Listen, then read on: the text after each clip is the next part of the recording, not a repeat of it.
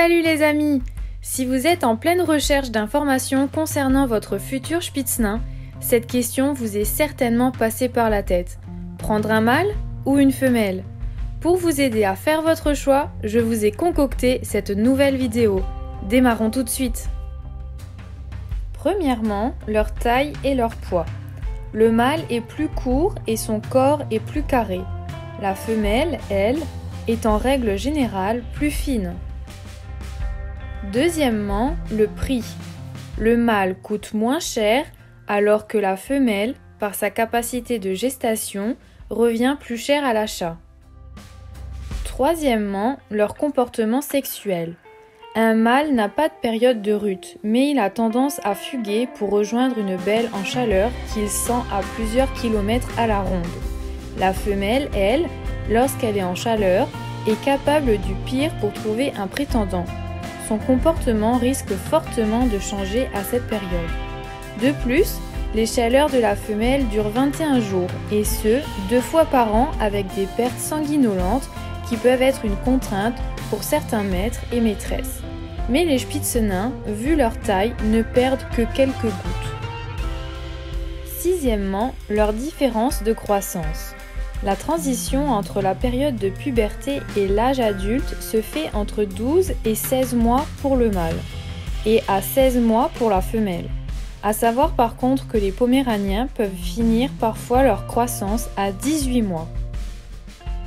Cinquièmement, abordons l'aspect de la propreté et de leurs besoins.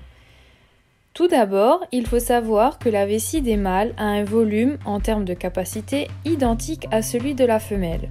Par contre, les mâles ont besoin d'uriner deux à trois fois d'affilée pendant la même promenade pour vider leur vessie et les femelles urinent qu'une seule fois. Il est vrai aussi que les mâles ont tendance à uriner quelques gouttes lorsqu'ils se trouvent dans un nouvel environnement pour marquer leur territoire. Quatrièmement, l'entretien à leur procurer. Les mâles sont nettement moins sensibles à la perte du poil de bourre, donc le gonflant, ils muent deux fois par an et de façon ordinaire. A l'inverse, les chiennes perdent leur poil de façon spectaculaire à chaque chaleur et après la mise à bas. La septième différence est leur caractère. Les mâles se montrent moins tolérants envers leurs congénères du même sexe, alors que les femelles sont amicales avec les autres chiennes.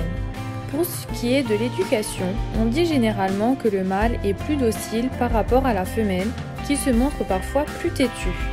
Aussi, on remarquera une petite différence avec le mâle qui est plus démonstratif, tandis que la femelle, elle, est plus réservée. Elle ne viendra pas par elle-même vers son maître, mais elle ne refusera jamais ses câlins. Vous l'aurez compris, tous deux sont doux, câlins et attachés à leurs compagnons humains. Il existe, comme chez les humains, des tempéraments différents chez les chiens aussi. Ce qui veut dire que cette partie n'est pas une vérité absolue, tout dépendra du caractère de votre loulou. Pour finir, leur santé. Cette différence concerne leur santé selon votre décision quant à la stérilisation.